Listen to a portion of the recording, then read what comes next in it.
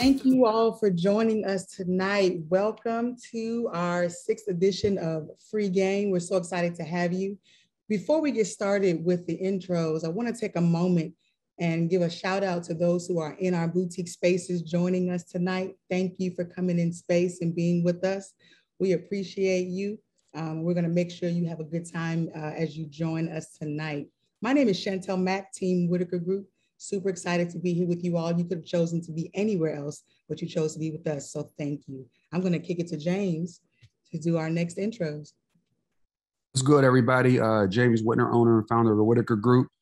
Um, I'm excited uh, for a couple of things. Uh, this this this series has been incredible, and um, tonight's a, tonight's a hell of a night because we get a chance to bring uh, probably two of the most experienced uh, fellas that's, graced us on on this panel so far uh, Craig Williams and Scott Uzzell. I'm not going. I'm not going to steal their thunder. I'm going to uh, let them introduce themselves, and then we're going to dig in. But I think once we uh, once we get into it, you guys will start to understand uh, why why why tonight's going to be so special. Uh, Craig, you want to go first? Scott, you want to go first?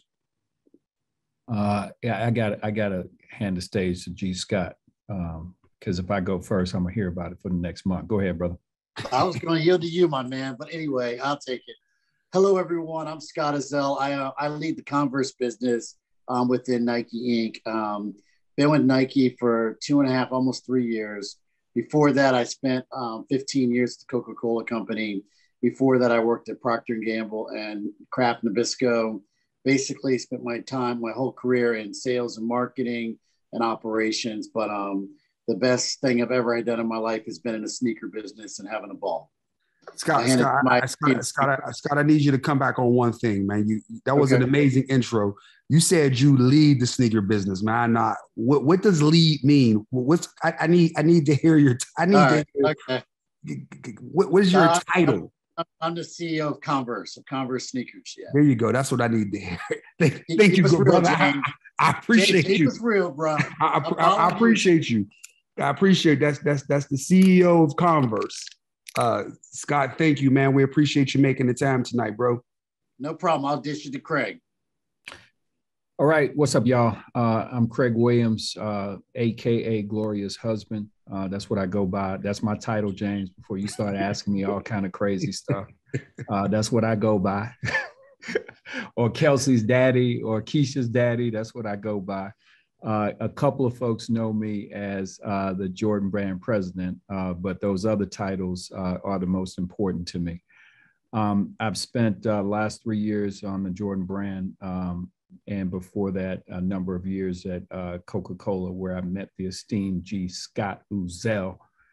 Um, I, I spent a few years also at Kraft Foods and in the U.S. Navy.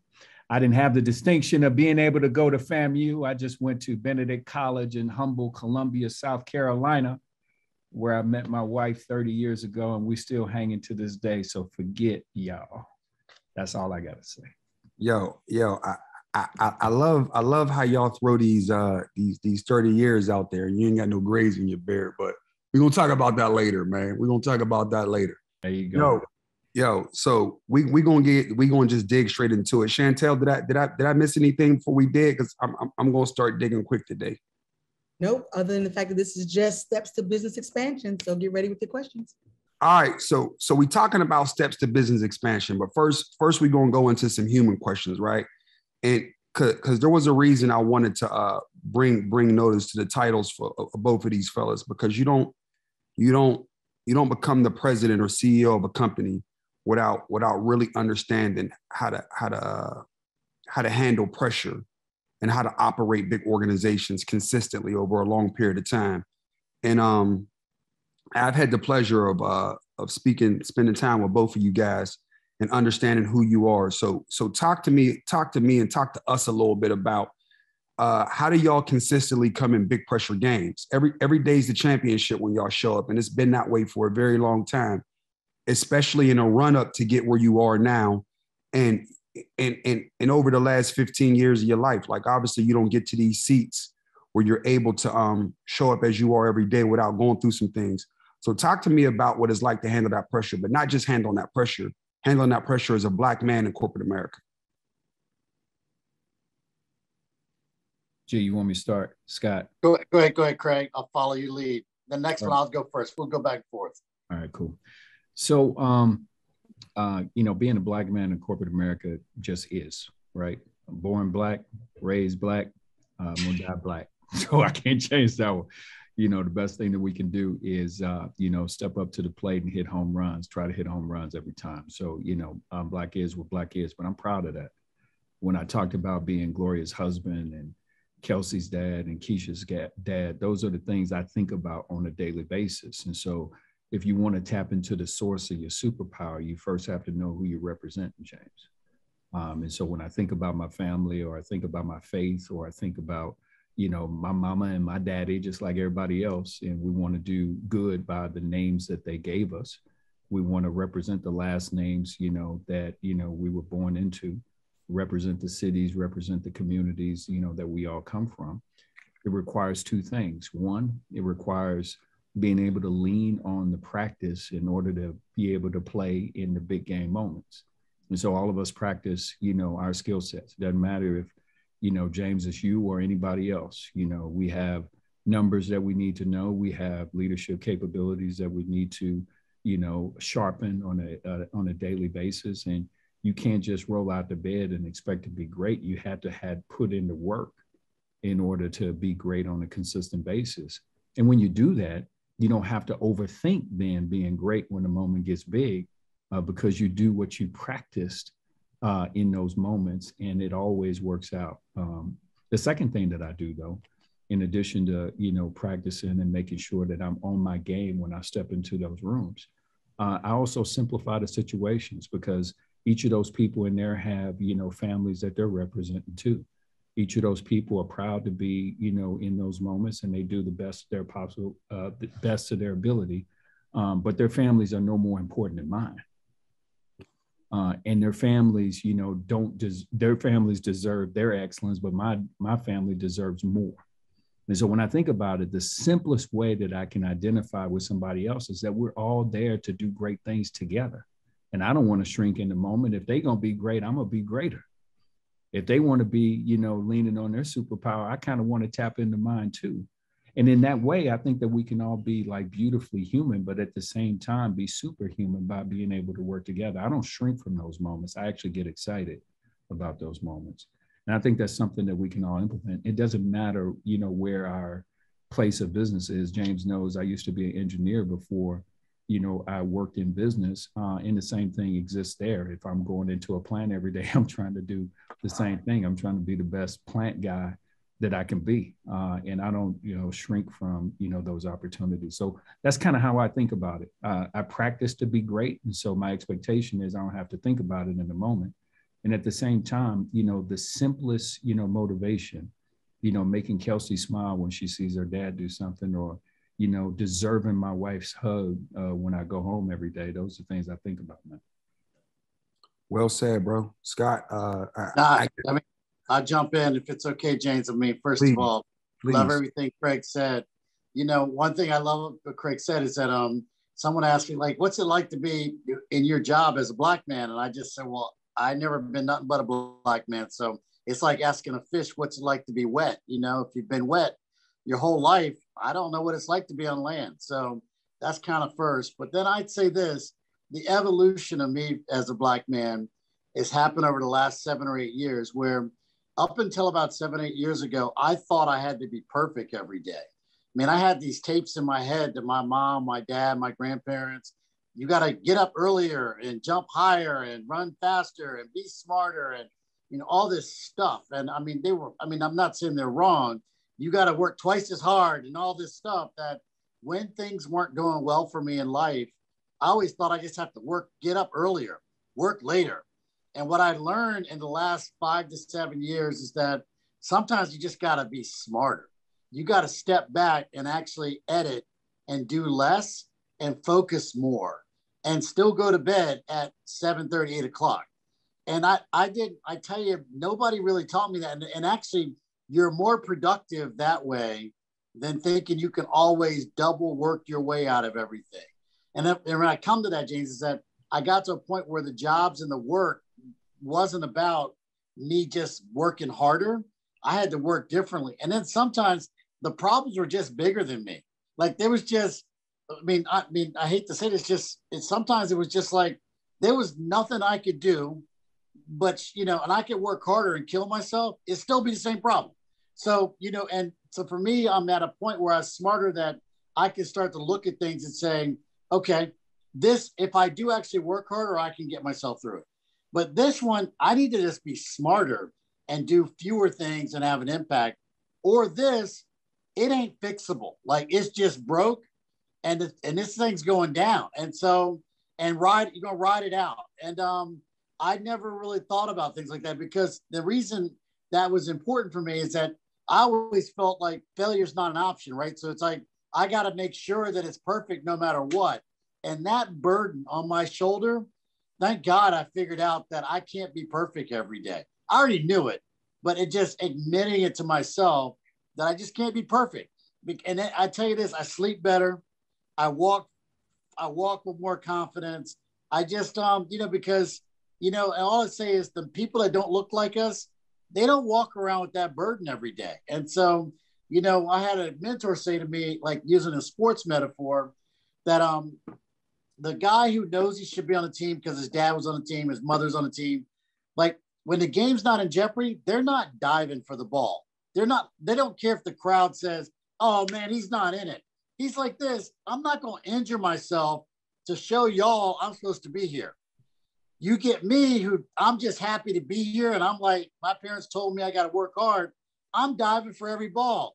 And then the next game, I'm coming in with skin knees, ankles hurt, everything else, and still trying to perform. And I just said, that ain't smart. So, anyway, long winded story to say that I'm, I'm just trying to be smarter and try not to let those tapes that um that my wonderful parents and grandparents told me not to you know kind of put me under well and and i think what i took from both of y'all with, craig i love what you said was and, and i'm making sure that i go back and forth with you uh, both scott and craig because scott i just took that you got to work smarter not harder right and then craig what it is you said is you got to focus and you got to you got to represent yourself represent who you are, right? So so I'm, I'm I'm hearing I'm hearing the relationship with yourself, and that's something we've talked about a lot.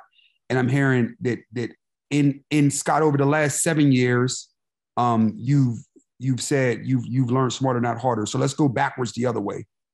And we're talking about expanding your business, but before you can expand your business, you got to expand who you are and your belief. Like something that I personally believe is you can't get something until you want something, right? And if you don't know what to want, and if you don't have, if you don't have to allow yourself to dream big, think big, and to believe that you have the ability to get to a space, you'll never just stumble on it, right? Intentionality, intentionality takes you where you want to go. So talk to me about at the point where you realized that you wanted something that was much bigger than what was around than what was around you, right? Because I don't think either of you grew up around uh, black CEOs and black presidents, right? So at, at what point did y'all re- realize like, oh shit, this is what I want. I have the ability and and and when did you discover your superpower that you knew was going to help get you there? I'll, I'll go for Craig and I'll flip to Craig.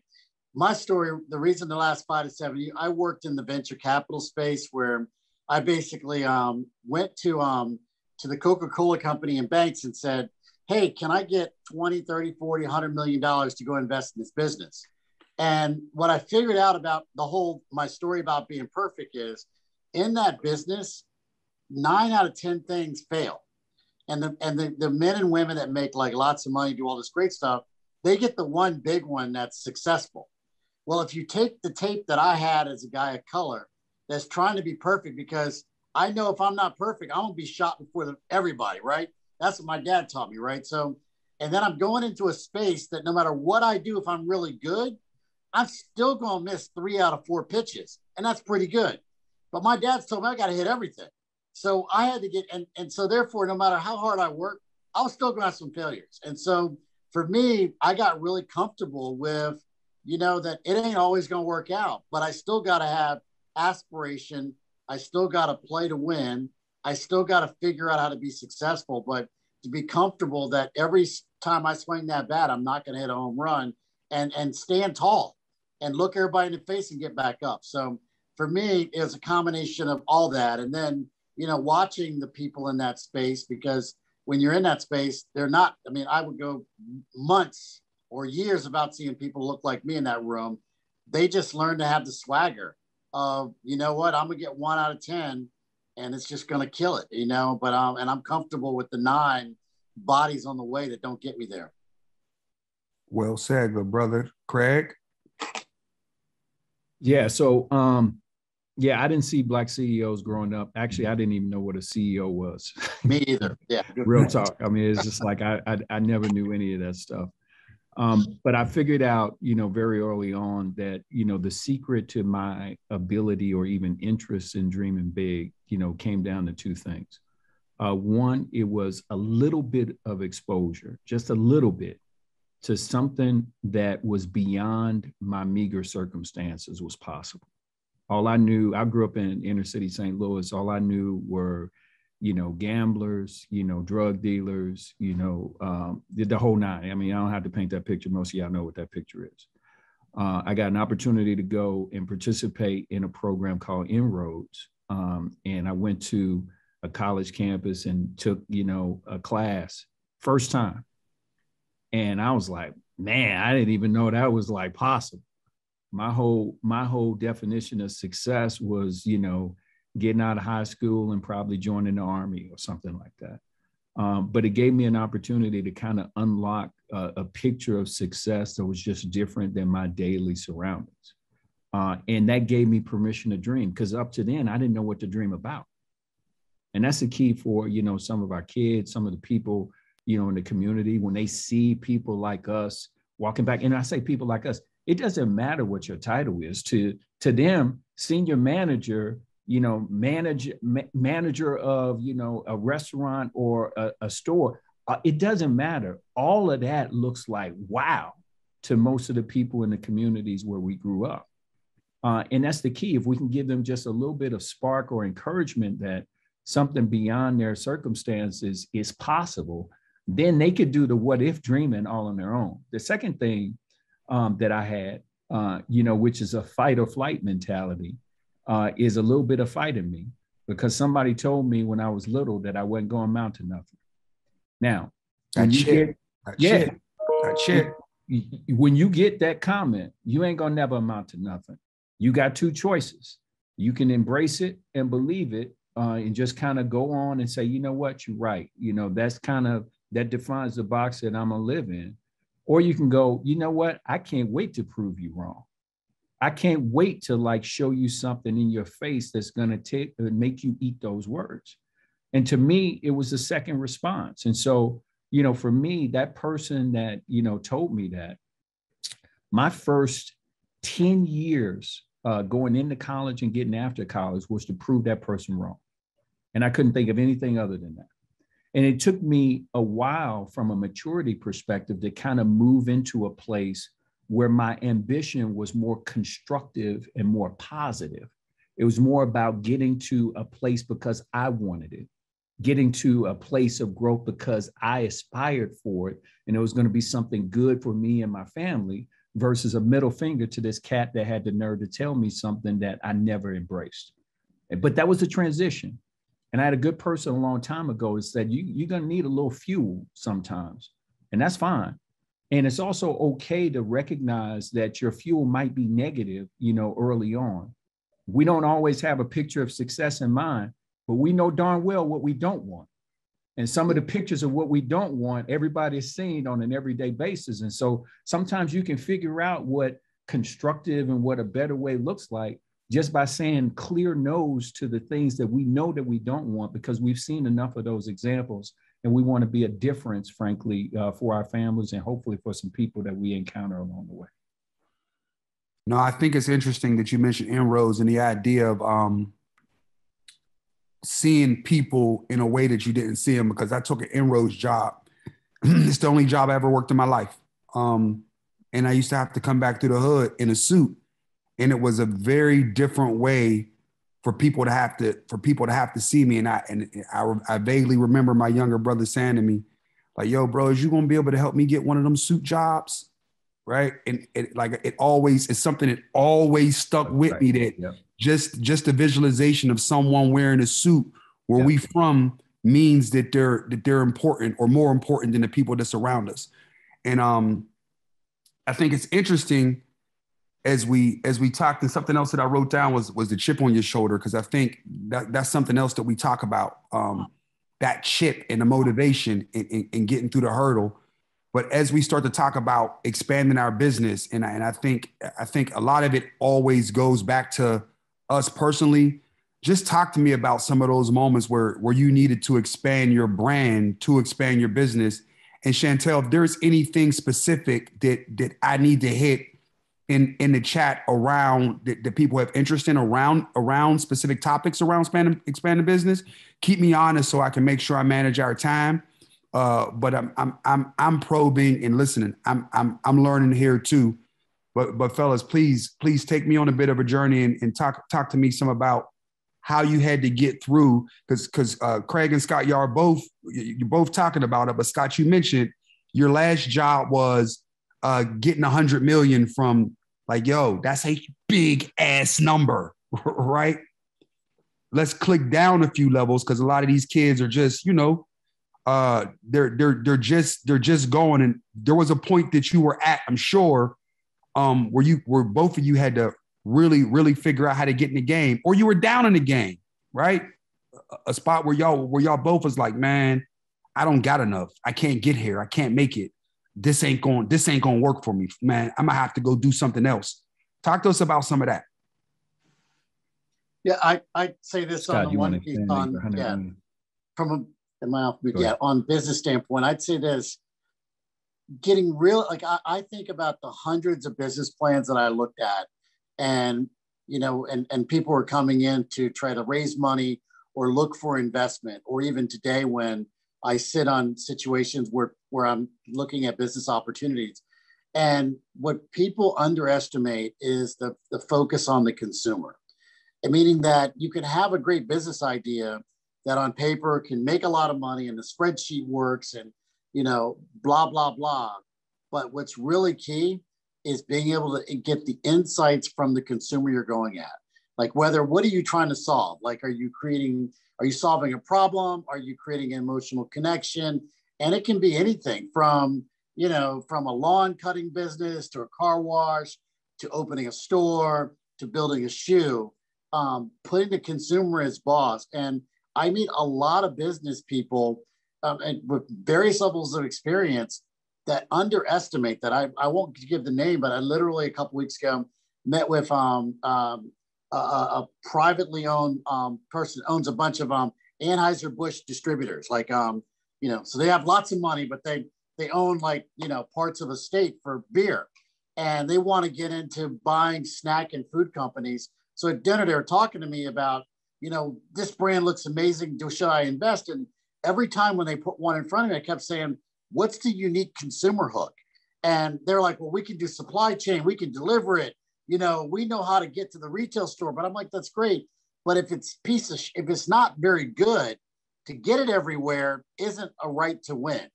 But if it's something really good, then let's talk about getting it everywhere. But my only point is a lot of people miss that that fundamental piece of what are you trying to solve for the consumer? Because that's what builds businesses. That's what I believe builds businesses. It's not just about I can make it, I can move it, I can get it everywhere, but it's really around what's unique about it and why is it going to create like a passionate connection to the consumer. And Scott, so for for for, for transparency, you're you're talking about. I understand you're talking about from your experience working in the private equity space, right? Yep. Can you give can you give a little more context so people understand what that is at a very at a very very low level? So so people who who are just starting businesses really understand what that is and, and how it functions as a part of business.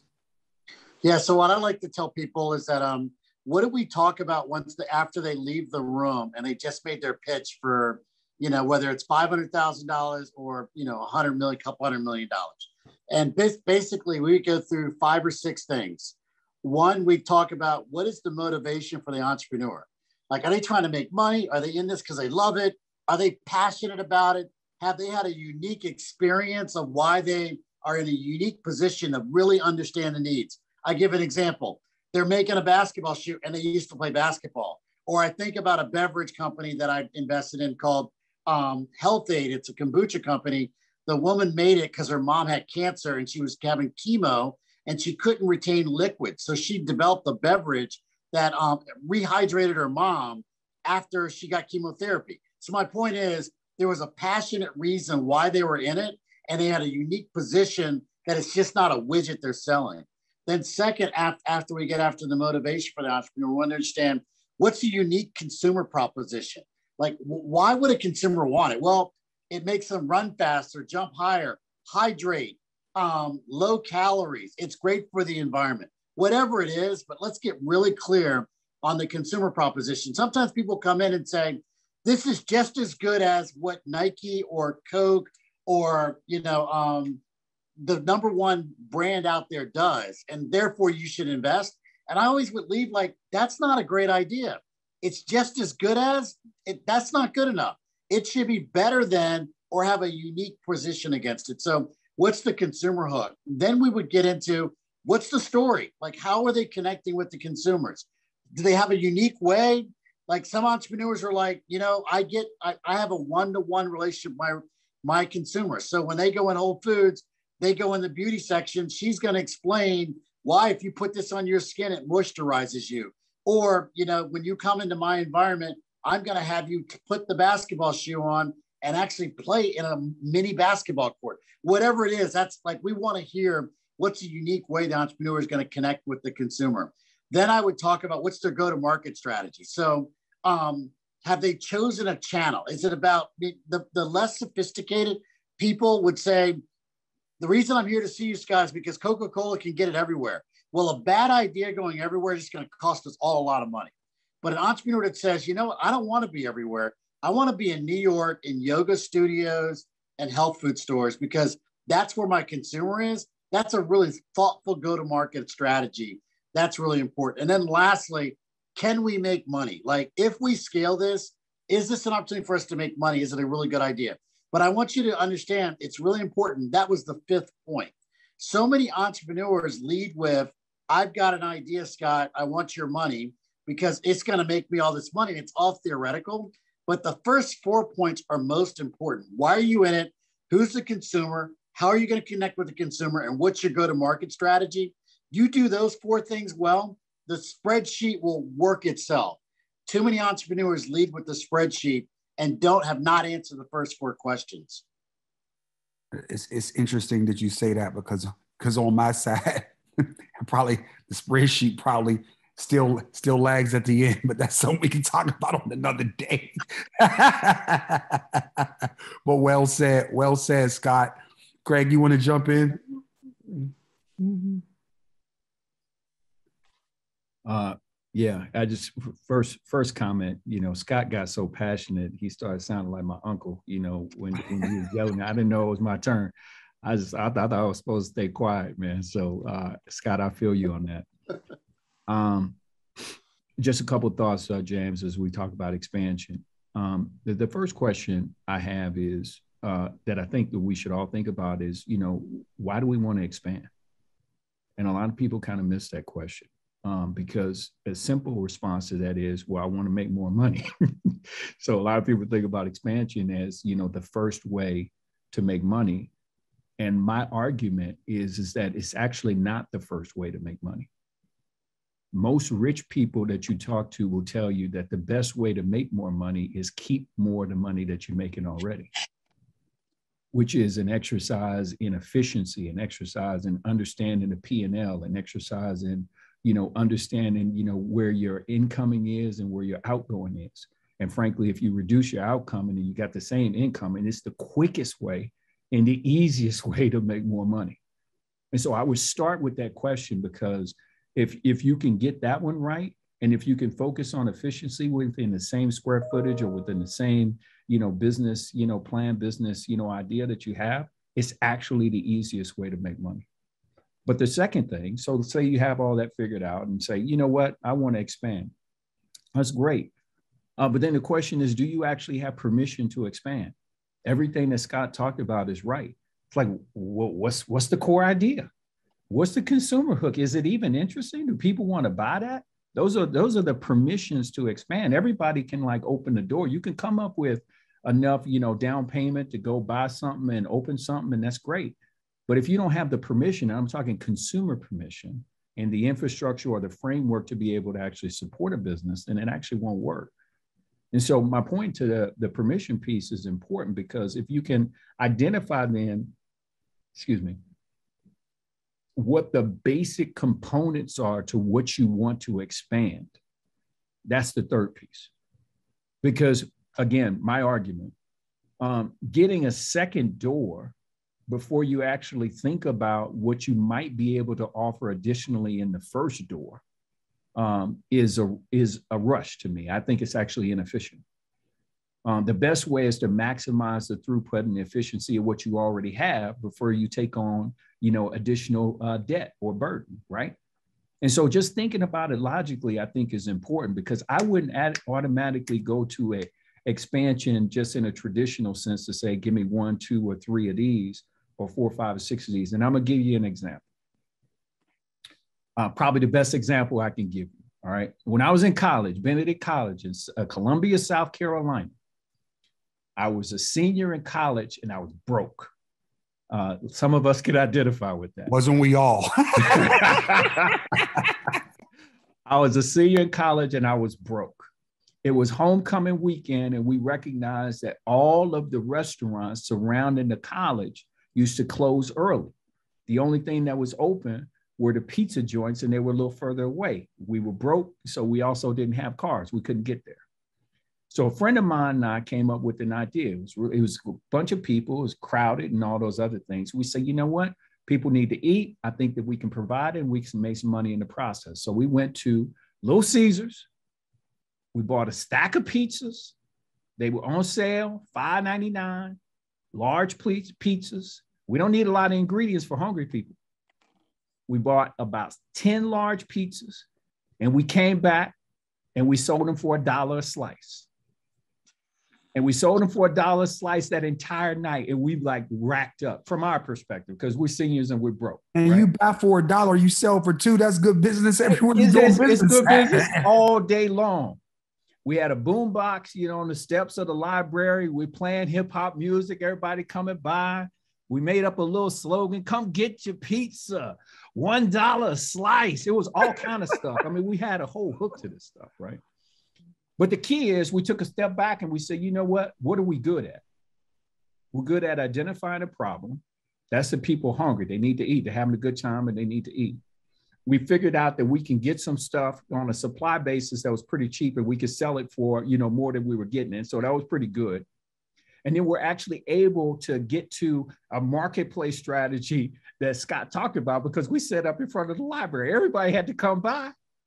And you took advantage of an opportunity that was right in front of your face. No doubt about it. And so here's the next thing we did we flipped that idea and then we actually went inside the gymnasium and we sold concessions that actually weren't set up from an infrastructure perspective with the college. We sold popcorn, we sold candy, we sold all of this stuff.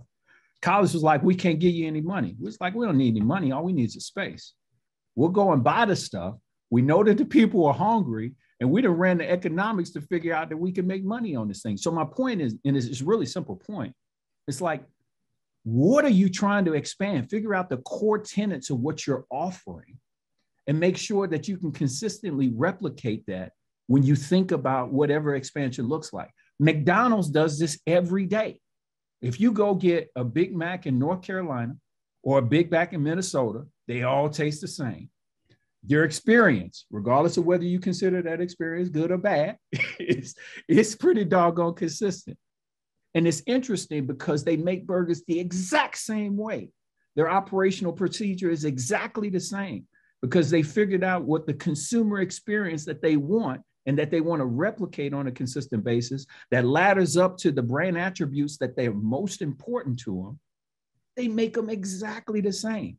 And they have an operation manual this thick to make sure that when they're replicating those jokers for franchisees that look or franchisees, business owners, that look different in every market across the country and around the world. They can pick up that manual, they understand what's important to the McDonald's experience, and they can replicate them all day long. So it doesn't matter if we have small businesses. The key is what do we want to replicate that we know works? And how do we make sure that that experience operationally and everything else is consistent first time, second time, third time? But my, my encouragement again is that I wouldn't think about a new door before I think about maximizing the footprint within the existing door. And I wouldn't think about maximizing the footprint in the existing door until I made sure that the money that I was paying out can be as optimized and as efficient as possible because that's the easiest way to make more money. That's uh, I'm I'm unpack that, and what I think I heard you say is make sure, make sure you're operating in the most in, in the most efficient way possible in a space where you are, so the growth pulls you, and you're not looking for it. That's exactly right yeah, it's it's it's interesting. It's, it's interesting as we talk about growth. Um, it's something that uh, I talked to used to talk to Rigo a lot about.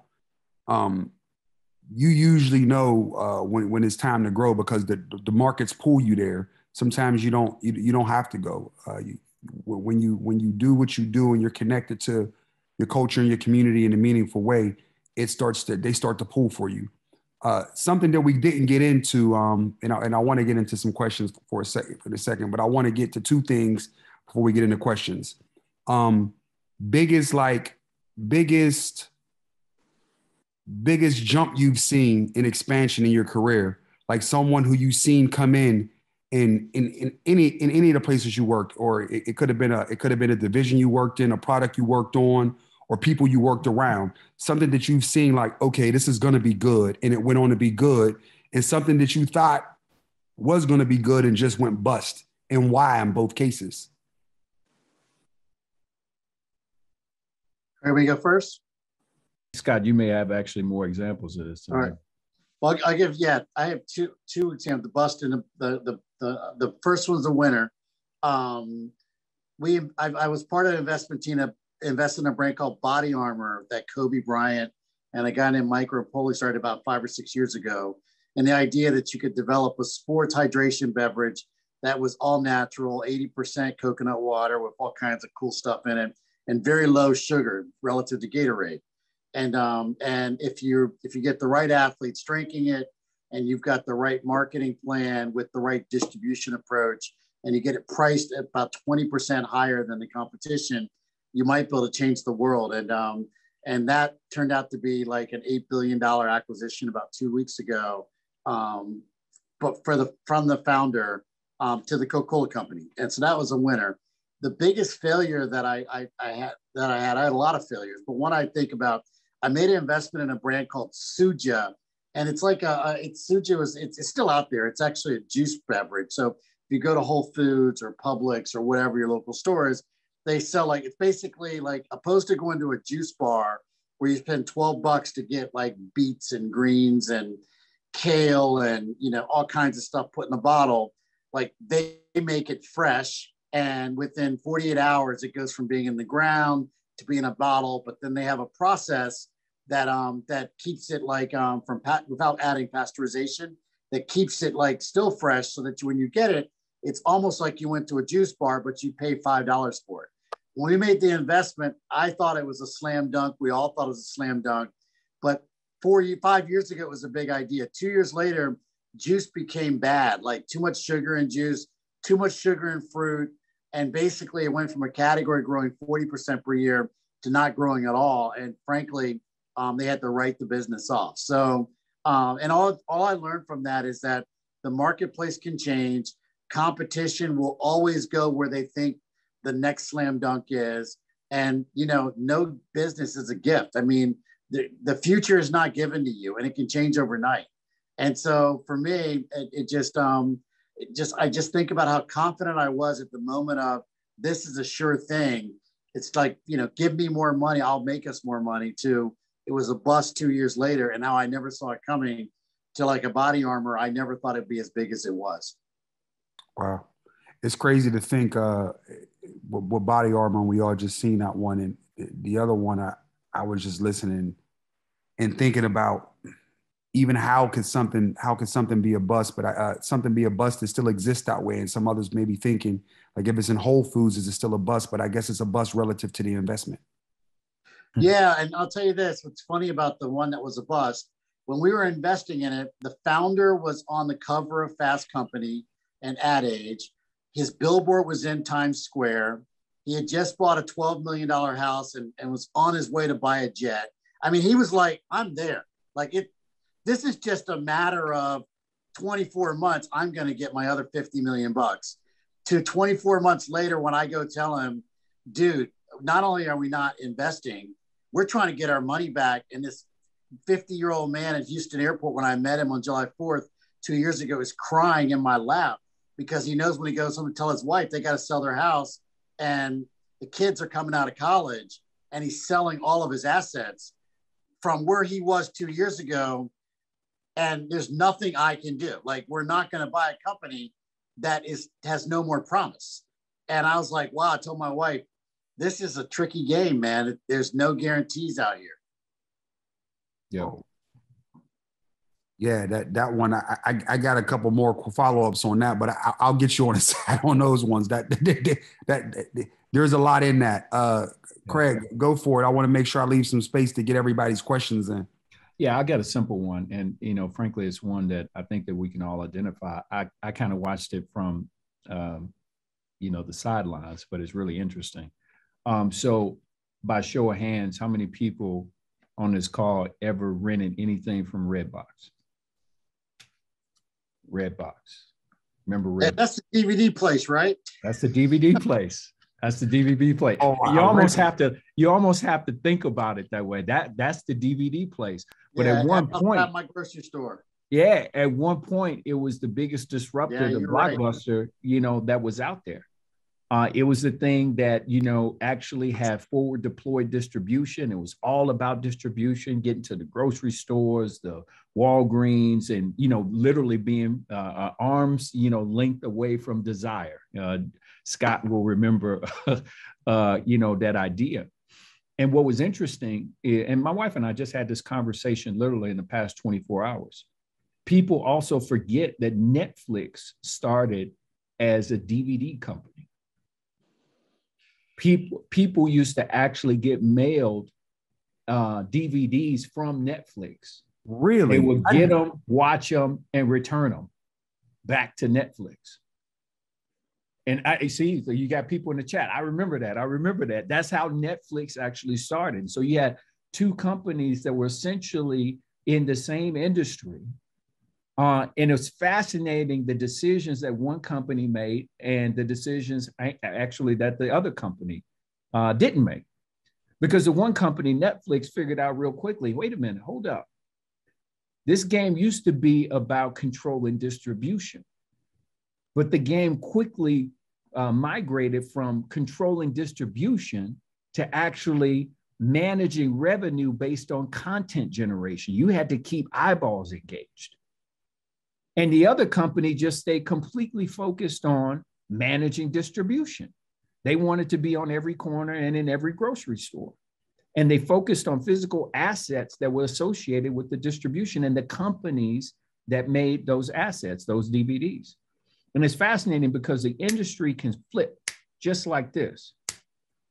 And consumer demand can flip just like this. Direct TV is another example of someone that was focused again on distribution versus content development and content creation because distribution is ubiquitous. As soon as the internet and Wi Fi became readily available, there were no more barriers. All the barriers came down to distribution. My whole point in that, you don't have to be, you know, a, a media specialist to kind of understand this, but my whole point in this is what is strong and what, what delivers strength in an industry or a business today, or what provides a moat around a business that you believe no one will be able to get across today, can be immediately changed tomorrow if we're not careful. Now, that doesn't mean that our businesses crumble because Netflix is a prime example of someone that understood and recognized the indications of change and changed with it. And so it's a perfect example of being able to actually change based on conditions changing. And, and because conditions change doesn't mean that our initial business idea or our fate as business owners crumbles overnight. And so I love that example because most people don't remember that about Netflix. All you remember is the Netflix today. But I promise you, if you go look up, even on the internet, some old photos of Netflix business model, it wasn't that different from business models that have died many times over because they never changed. No, I, I, definitely, I never. The idea that Netflix mailed movies, that that that I must have missed that somehow. I, I don't, I don't know, I don't know where I was at. I was under a rock.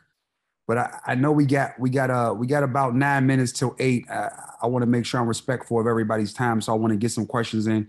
Chantel, we just been going. Um, is, is there anything in the chat that we need to be thinking about right now? Absolutely, there are a lot of uh, questions on expansion, and there's uh, one of our audience members, uh, Tuck I'll ask him to unmute. He had a question that I think will be good for him, but also for um, some of the, um, the business owners in the room. Um, I will ask as you ask your question so that we can honor time and get as many people as we possibly can in here. Y'all jump on here and ask the question that you put in the chat. Don't get us with the okey doke. We want to make sure we get as many people. So looking forward to hearing from you, Tuck. You want to unmute for me? Yep, I'm already gonna come in quick because I know there's people behind me. Appreciate this conversation. Appreciate the free game as well through the whole entire series from part one to six. Appreciate you, James. Um, with business expansion, also your team has to expand as well, and then the responsibilities expand as well. So, what are your qualities you're looking for when choosing your team?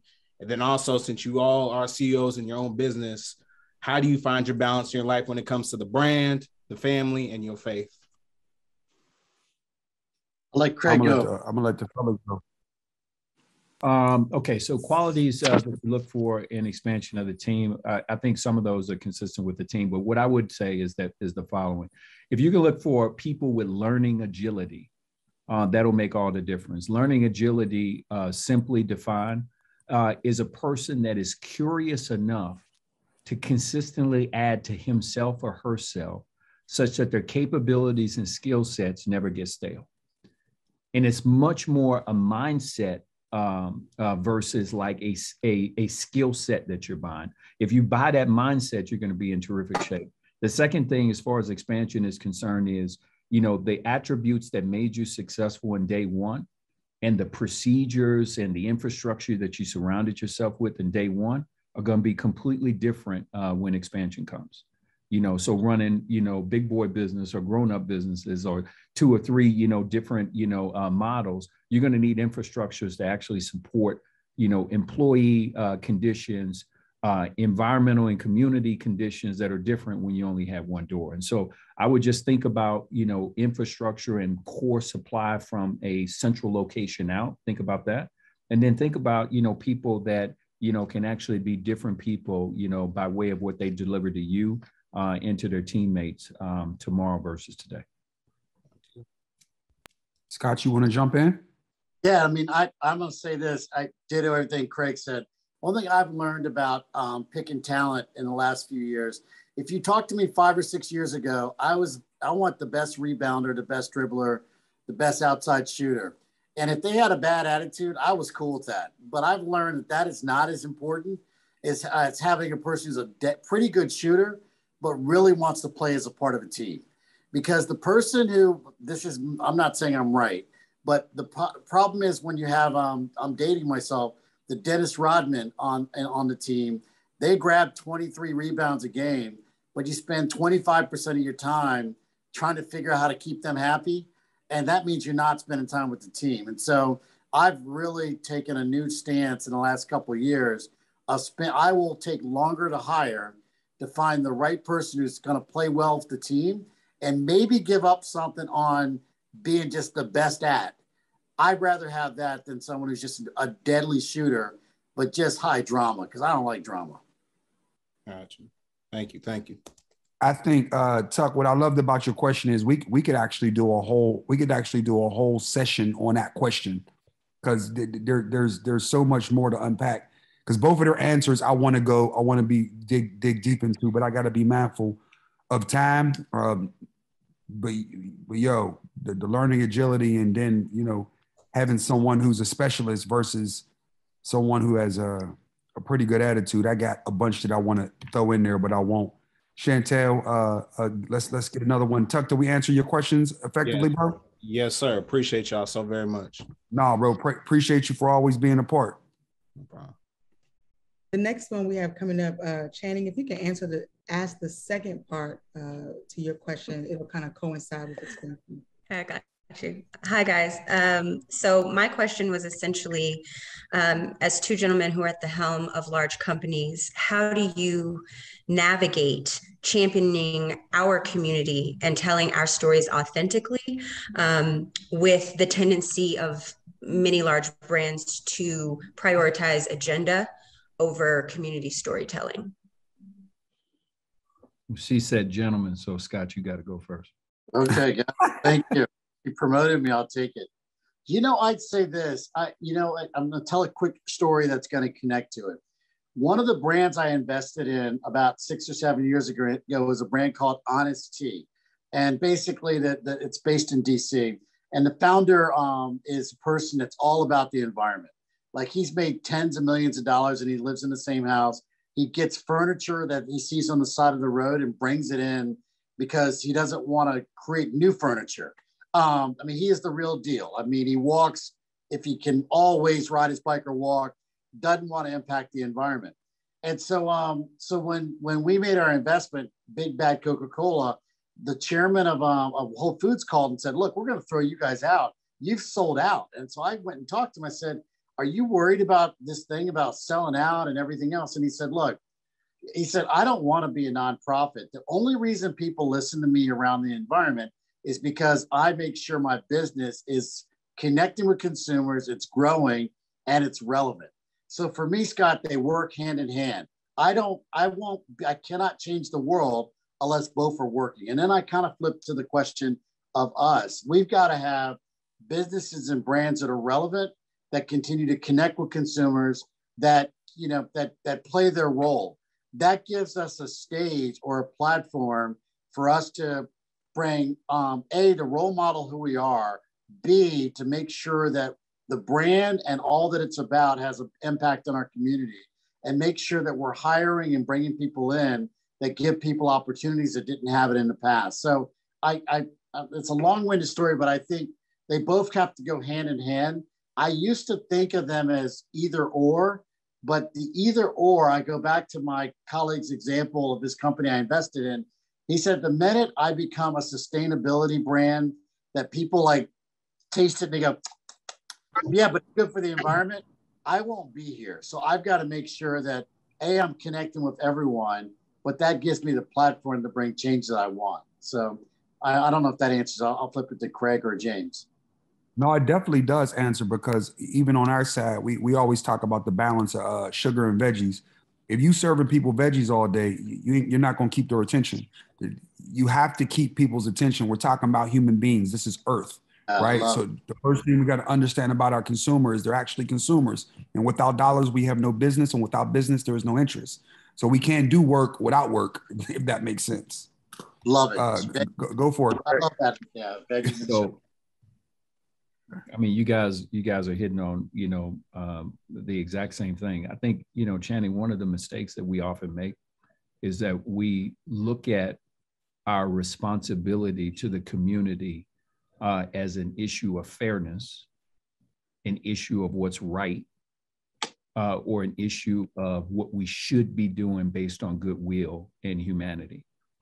Um, businesses uh, think in uh, the language of dollars and cents, and that's not wrong. That's that's that's what businesses are here to do. They think in language of dollars and cents. So our responsibility is to be able to translate the needs of the community in the language that the business understands. It's as simple as that, but it's so important that if you forget it, you'll be like completely frustrated because everybody isn't paying attention to the most important thing in the world to you. And I'll give you just a, a, a simple example. At Coca Cola, we learned um, a very simple phrase, and that is the health and welfare of the communities where we reside and do business is of interest to us because when they're healthy, we're healthy. When they buy, we benefit. And so all we do on an everyday basis is connect the health and welfare and benefit of the community to the primary objective of a business, and that is to grow top and bottom line. And so we should be interested to do this program, this initiative, and this help in the business because when we do, the business's ability to be able to um, partner with our company and consume more is strengthened. That's a common sense thing. And the only thing that I've seen in my years, you know, in corporate America is when we come in and we like, you know, pound into the chest and we're talking about what's fair and what's right and all those other things, it's missing people left and right all day long. And it doesn't make it wrong. It, like what we're saying is not wrong. It's just like we're speaking Chinese to an English speaking company. And all we got to do is speak English. Ain't nothing wrong with that. And if we speak, speak English and they get it, then the community wins and the company wins and we're great. And that's what Scott's talking about. We can't turn into a nonprofit overnight. And there's some companies out there that are smart enough and wise enough to understand automatically the humanity and the well-being aspect of being, you know, good citizens with the community and all those other things. But 99.9% of the rest of them jokers need us to translate, and that's facts. Oh, well, well, said by both of you fellas. Uh, I think it's I think it's interesting because I think you both know where I stand on a on a on a on, on a side of, of, of building a business that helps feedback. But I I'll just echo what you both said. Like you, you can't you can't do it unless you're aligned with your partners, and you can't you, you can't make you can't make everyone care about the things you care about. You have to you have to have a meaningful business proposition, and you got to have empathy for others, right? And as a partner, it's not always about caring exactly about what they care about. It's just about having empathy for who they are as people and humans and right. and, and, and, going on a walk, going on doing things with them um, when they're meaningful for them, right? Like I think empathy is the biggest word in business, but to, I think you said it, Craig, you can't expect a business to understand that. The people in the business who run the business have to understand that and align to that. But it, it but always be mindful that it's a business. Uh, They'll get it if you translate it for them for sure. One hundred percent. Um, Chantel uh, and, Scott, I, I want to take this second uh, to thank you, man. I, I, know you got a I know you got a hard stop. I got, I got fifteen. I got fifteen. Oh well, well, well, well fellas, uh, let's keep the party going then. Can I mean, no, I, I don't want to mess you up. I'm, I'm just oh, saying. Oh no, no, oh no, whoa, whoa, whoa. We can, we can, man. Listen, we can keep this party going. I don't think, uh, uh Craig, is that okay with you? Yeah, man, but I got to pee, so y'all better. I'm just saying, y'all got y'all got a few minutes. For real. Uh, all right, all right. So we we, we gonna get life issues. I'm dealing man, with. Man, listen, if you start tap dancing over there, then we know what time it is, man. But but feel like if you feel like you need to run, run. yeah, uh, Chantel, let's yeah. let's uh let's make the best use of this next 11 minutes. Let's do this. I really want to get one in from one of our audience members um, out in Charlotte. Thank you all for attending in Charlotte. Daryl had a question and just going to the story part really quickly, he says, what are the key points a consumer looks for in your story as you're talking about expanding your brand or storytelling in your brand? And all three of you have done that so well. What do you think the key points a consumer looks for in your story? In I think it has to be a real story. Uh, that's the first thing.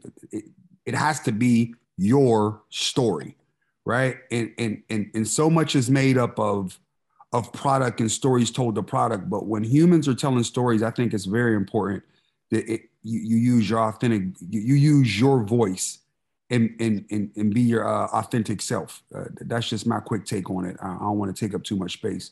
Uh, Scott, Craig. I'll just. Uh, I'm gonna yield to Craig because they. I think you're. I think Jordan just does an amazing job on storytelling.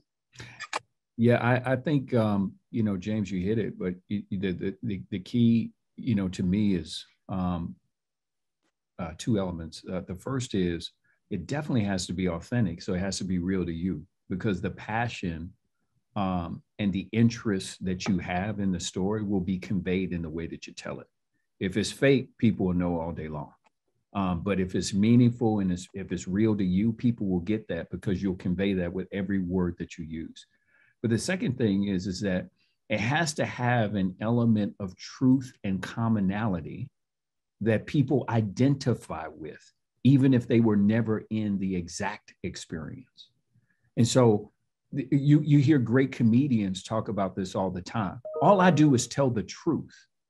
And when I tell the truth from an angle and people understand, yeah, that's the truth, then they can find the humor in it because it's so relatable. Two minutes ago, I told y'all I had to pee. I guarantee you, every one of you have too felt that sensation before. you ain't squirming yet, though. You holding it. ah, bro, I'm, I'm struggling, though. I'm struggling big time. but but even in telling that story, because you understand exactly the situation that I'm in right now, uh, you can identify with, and that's all storytelling is. It's being able to convey the message in a way that's true and honest. I am squirming, but at the same time, because you have been in that situation and you understand it, then the power of the story is revealed that way. If you never understood it, or if you never even began to experience it just just remotely, then it's a comment or a story that just goes right by your head.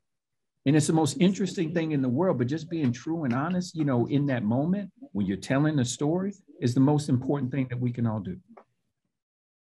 Somebody commented, Craig, that uh, MJ had to pee in the third quarter of a game, so you got to put out some P4s. no, we can't do no P4s, dog. it, it, it, was it was it was Juan Juan that, that was funny as hell. uh, for one for one more question. Okay, this is the last one. You want you running the show? I'm sorry, boss. I'm sorry. Walter, uh, one of the things we wanted to make sure we hit is uh, recognizing tools for expansion. And Walter had a question overall when it comes to going outside for execution. So Walter, ask your question, sir. Good evening, everyone. Thank you. Uh, my question for you guys is, um, A, is it difficult? And then B, when do you recognize that even though you may have the vision, the execution, you have to seek outside assistance with that? Ooh, that's a good one. I'll, I'll take a first stop at it. You know, um, I, a couple of weeks ago, um, a, a, a, a, black business, one of the largest black businesses in the United States, the leader asked me to go look at a business. He sent me something to go look at a business for my old job, even though I was, you know, in the evening. He sent me something to drink. He sent me a business plan and told me to Zoom with the founder. And when I got off the phone with when I got off the Zoom with him, I talked to him. He said, "What do you think? Should I put money in?" And I said, "Look, she's really big visionary, but she needs someone in supply chain, someone in finance, and someone in commercial before I put money in." And that way, when you put that cocktail together, it's going to taste amazing. If you do it right now, you're going to get nothing but bourbon burn.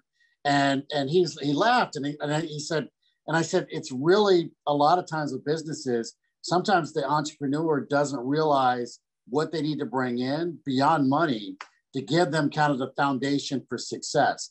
This person was a great thinker and visionary, but in terms of the nuts and bolts of the business, she'd never had that experience and she could go learn it but it would just mean as an investor, you're going to lose a lot of money while she's learning it. Whereas if you can bring, get the support, you'll skip a lot of steps and steps, save a lot of money that you waste that um, typically happens when they do it the first time around.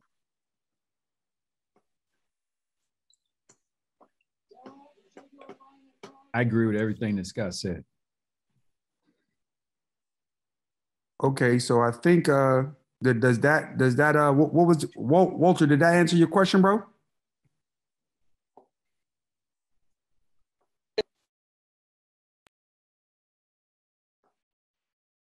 I don't know if that's me or Walter. Walter. I think I think it's Walter because I could I could, I could see myself moving over here a little bit. Chantel, if, the parable did answer my question. All right, th- thank you, Walter. We appreciate you investing your time tonight. Thank you. All right, man. And, and, so we don't all uh we, we don't we don't all witness uh witness Craig do uh do the rain dance in front of us all. we're gonna make sure that we uh we bring the session to the end. But first, I, I want to thank you. I want to thank you both for making the time and space for us tonight. Um, for me, it was even important. It, you know, the, I appreciate everything the series has been because uh, you know just the investment to help us all to get better as a community and and even to come and and be a community together and learn together. Like it's been it's been an incredible ride, and I'm I'm appreciative of of all your time and, and all the thought processes. Not just not just Scott, not just Scott and uh, Craig, but Rigo and JB and Brandis and Mark and Chantel and everybody who who you, who you don't see on a, on the screen every session. Um, a lot goes into these sessions uh, for free grant free game, and a lot goes into our entire community platform. And on some days, like yo, today felt heavy, and it, it feels heavy for a lot of reasons. But when you when you step into these meetings in a conversation, it just it just helps. It, it, it helps push me forward. So I hope I hope uh, all of you are getting as much out of it as I am. Um, if we could, James, if we could have everybody lower their hand and we can get uh, a last picture to kind of close out our free game, if that's okay. If y'all could turn y'all's cameras on, we'll help you do that. But we'll just get a quick, a few quick slides and um, again, echoing James and saying thank you. We're gonna get some pictures. We're gonna do it really, really quickly. So just turn your screen on team, help me grab pictures. And then after this, we'll say goodnight.